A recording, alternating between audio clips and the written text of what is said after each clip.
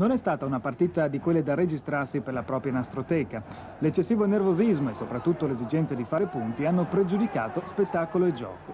Così nel secondo tempo, dopo il pareggio dei laziali, entrambe le squadre hanno pazientemente atteso il momento di fare la doccia senza darsi più fastidio. La Lazio arricchisce in questo modo una serie positiva che dura da sette giornate. Il Cesena, dopo due sconfitte, torna a muovere la classifica. 20 minuti del primo tempo senza azioni di rilievo, poi al 25 Ruben Sosa entra in velocità con calca a terra e sferra un sinistro che il portiere Fontana può soltanto deviare in angolo. Passano 9 minuti e il Cesena, che fino a quel momento non aveva mai centrato la porta della Lazio, passa in vantaggio. Silas suggerisce in aria per Amarildo, abilissimo a porgere al volo di piatto per Ciocci, il quale di prima intenzione infila fiori imparabilmente. È la quinta rete in campionato per la piccola punta dei romagnoli. La Lazio è scossa e non riesce ad imbastire una sola azione d'attacco pericolosa. Così è il Cesena che sfiora il raddoppio al 44esimo con Amarildo, velocissimo nell'indirizzare in porta un passaggio di Ciocci. Fiori è lesto a distendersi in tuffo.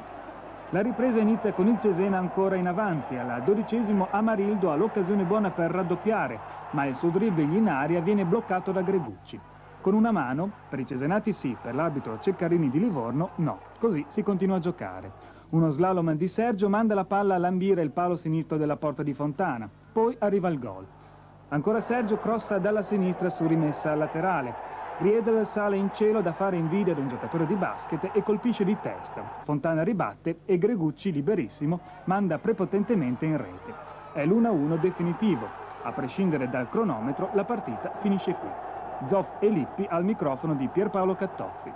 Dino Zoff, non voglio farne una colpa a lei, ma mi pare una bruttissima partita quella di oggi. Pensi che io sono de del parere tutt'altro che, che, simile. Io ho visto una buona partita, direi che la mia squadra al primo tempo ha fatto un'ottima partita, poi il secondo tempo è stata una partita combattuta col cuore e sono contento di questa partita.